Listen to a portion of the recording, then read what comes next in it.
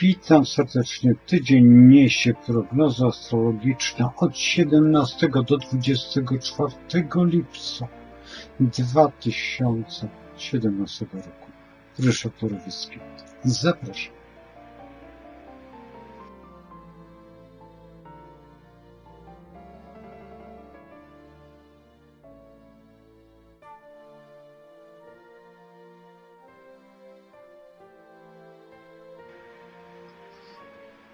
Rozpoczniemy od tych miłych wiadomości, a skończymy tymi przykrymi wiadomościami.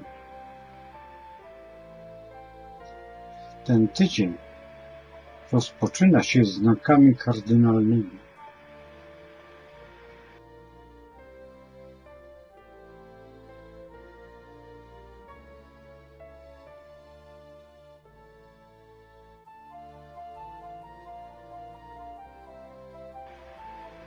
Księżyc znajduje się w Baranie, w koniunkcji z Uranem.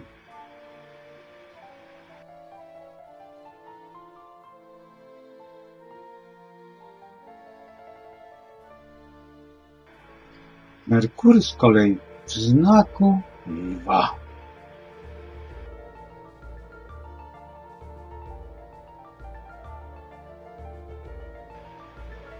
I dlatego też wynika z polaryzacji, że wodnik ma dużo do powiedzenia w tym okresie.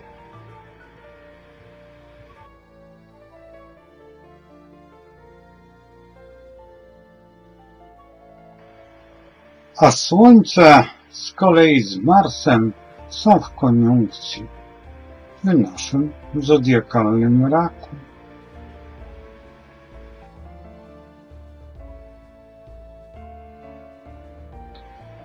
To daje nam bardzo optymistyczne spojrzenie w życie. Ten wykres jest bardziej żywy, mniej kapryśny.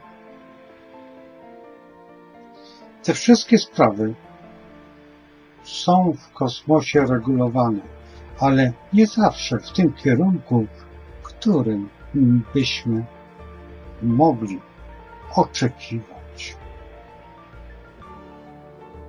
Energia wodnika da nam bardzo silny element zaskoczenia.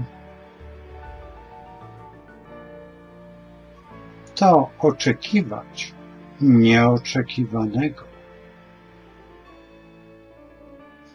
Jak na razie doskonale. Możemy się spodziewać czegoś pozytywnego. A teraz zobaczmy, co się będzie działo.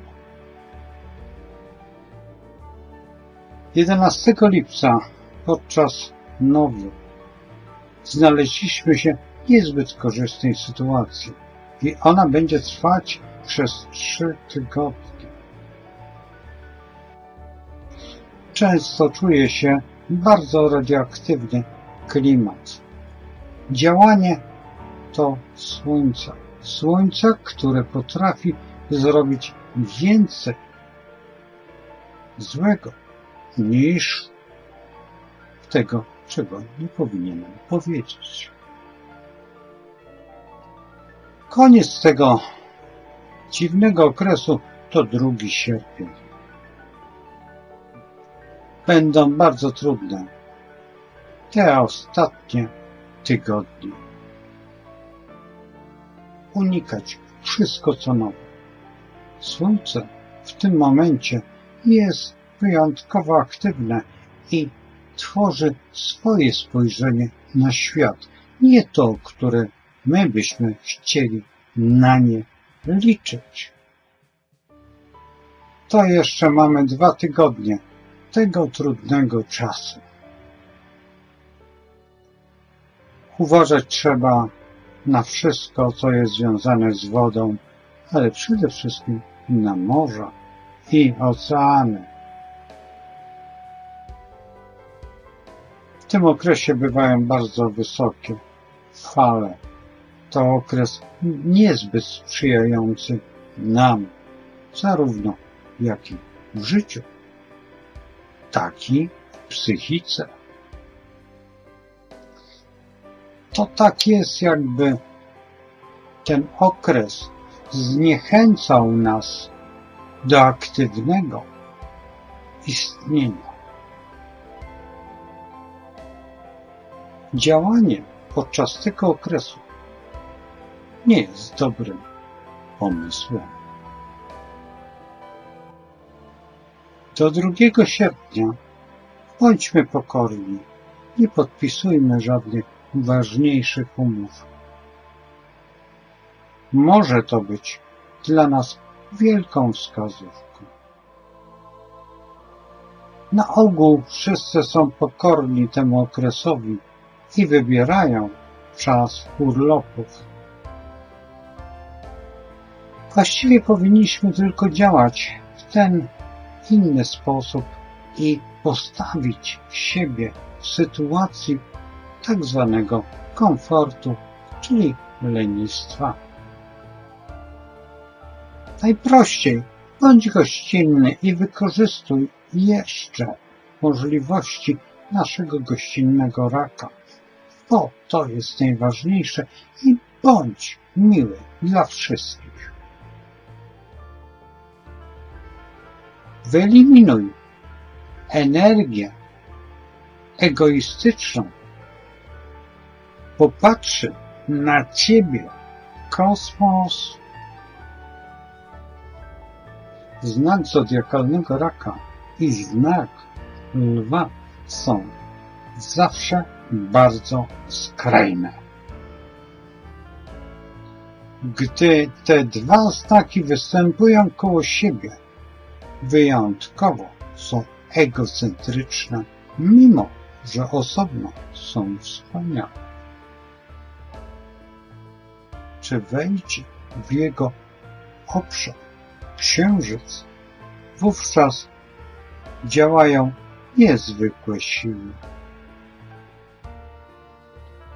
To rozpoczynają się przede wszystkim lęki, lęki jeszcze raz i pesymizm bardzo poważny. To wszystko krąży wokół nas.